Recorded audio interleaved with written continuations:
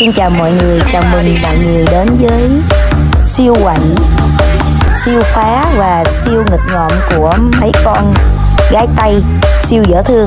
Đó đi nghỉ dây lao với nó đó. Mà nó đu lên chiếc xe người ta nó chạy tới nó chào mấy người phía bên kia. Đó đi bên chào người ta mà thần thái sợ à. ra đó rồi nó rủ một người đi chung đi với nó để cho nó ờ, tám chuyện. Nó tay ra giường làm những nước nữa giơ tay ra chơi nước nữa chắc nó cái tay nó đẹp. Nhìn cái tưới thì tôi ghét đâu. Đó, ai chịu nổi không đi cũng được bình thường đó. Đó, lẹn, lách. Cái kêu nó chui vô trong tủ luôn đi. Đó, bây giờ đi xuống nè. Xong rồi đi xuống đó, nó tới, nó cà cái mặt nó vô trong kính đó. Đó, nó chọc mấy cái người đang ngồi hút thuốc ở ngoài đó. Đó, nó đâu có yên đâu. Vậy mọi lúc, mọi nơi. Rồi, đi xuống đây là bắt đầu nó rình, nó mò người ta kìa cười dễ sợ. Nó lì quá trời quá đất. Rồi vô làm gì? Quẹt mông người ta. Không để làm gì để cười thôi đó. Rồi đã tìm đúng người rồi. Tìm đúng chị này cũng là một chị siêu quậy đó. Tới làm gì? Tới so đất người ta chơi gì đó. So mông người ta gì đó. Đó. Lắc lắc lắc chị này chửi. Nhưng mà tôi khỏi chị này đó chị này vui lắm trời trời kỹ kỹ làm dài. Đã thấy chưa?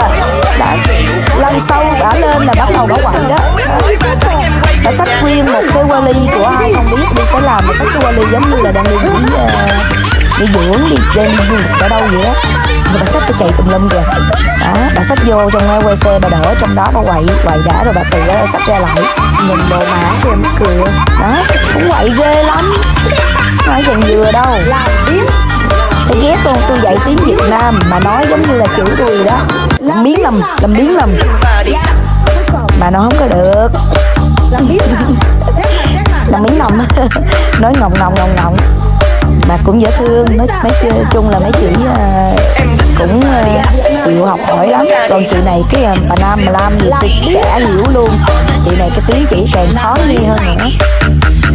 Nhưng mà vui lắm đó bà tới bà học đó hồi nãy là bà ra bà hút thuốc rồi đó tôi đã nói với con kia là ừ lát nữa xuống đó là đánh bả đó. Tại vì là bả uh, quậy quá quậy đi. Bà lên đây bà quậy quá. Bà học lại cho người ta đó bà nói tôi nói đó thấy chưa? Đồng nghiệp kiểu gì kỳ vậy chơi vẫn đẹp. Tôi hứa là tôi nghỉ chơi như mấy buổi